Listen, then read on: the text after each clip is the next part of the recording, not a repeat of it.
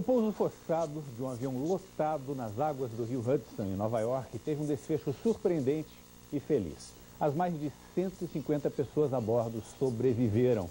Vamos a Nova York falar com Juliana Morrone. Boa noite, Juliana. Que história, hein? Bom, já se sabe o que causou o acidente?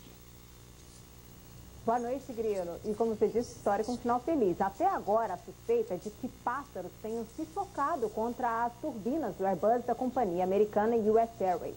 O acidente aconteceu bem na hora do rush e muita gente correu para a beira do rio, que fica aqui pertinho, para acompanhar o resgate dos passageiros e tripulantes.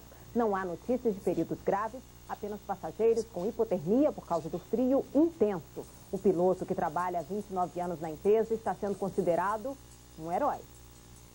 Eram 6h31 da tarde, horário de Brasília, quando o Airbus A320 da US Airways desceu no rio Hudson, na altura da rua 48.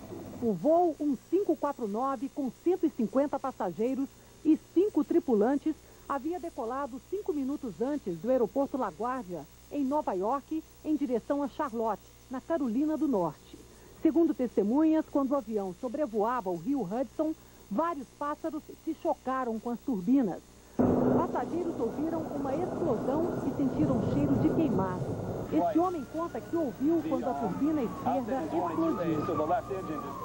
Ao perceber que havia algo errado, o piloto do Airbus tentou seguir para um aeroporto de Nova Jersey, que fica a poucos quilômetros daqui de Nova York. Quando viu que não conseguiria, avisou aos passageiros que fariam pouso forçado e alertou: preparem-se. Alguns contam que começaram a rezar.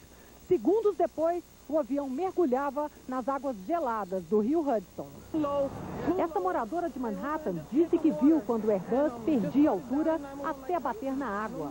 Emocionada, contou que desde o 11 de setembro de 2001 não via um avião voar tão baixo. O piloto conseguiu controlar a queda e os passageiros foram saindo aos poucos pela porta de emergência. Alguns ficaram sobre as asas do avião à espera das equipes de resgate.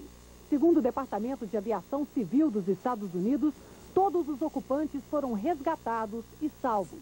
De balsa, os passageiros foram levados para a margem do rio e depois para o hospital.